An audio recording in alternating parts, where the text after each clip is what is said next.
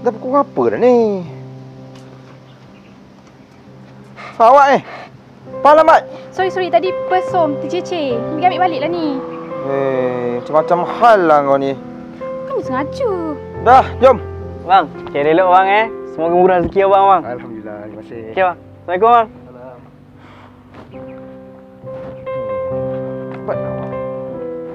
Bang, Assalamualaikum bang.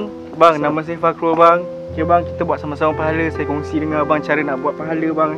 Salah satu cara dia, kita wakaf buku contoh macam Miftahul Melayu bang. Apa dia? Oh, wakaf buku bang. Wakaf buku? Ya saya. Kau ni sesat ke apa ni? Ha? Ha? Kau nak scam aku ke apa? Tak bang, memang betul kita buat wakaf buku. Eh, orang tak pernah wakaf buku eh? Ha? Aku biasa dengar wakaf Quran, wakaf tanah dia lah. Yang kau nak wakaf buku ni kau...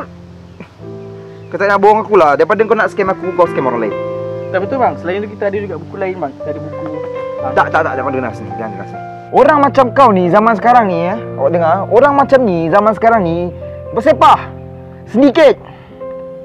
Penuh dengan agama kau ni. Eh, aku cakap dengan kau eh.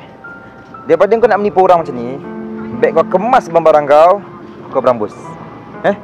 Wakaf buku, apa benda lah dia ni kan? Bang, kalau abang nak tahu, ah, lelaki ni lah tadi yang tolong pulangkan pesom. Kan Som cakap pesom tercecer tadi. Sebab tu lambat.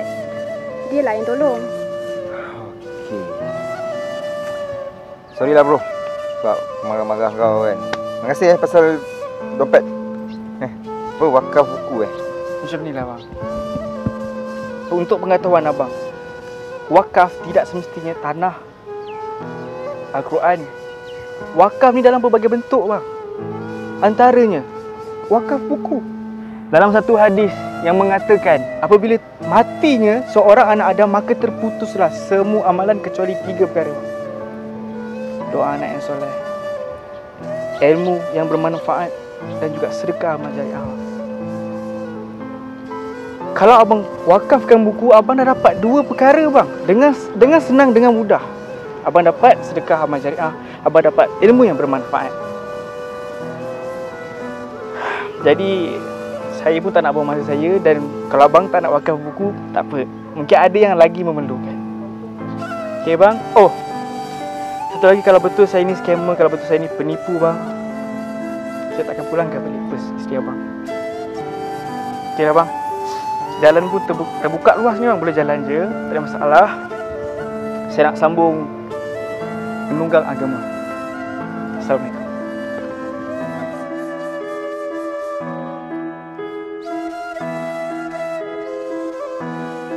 Mentaliti orang kita apabila bercakap tentang wakaf, kita akan fikir Al-Quran, kita akan fikir tanah.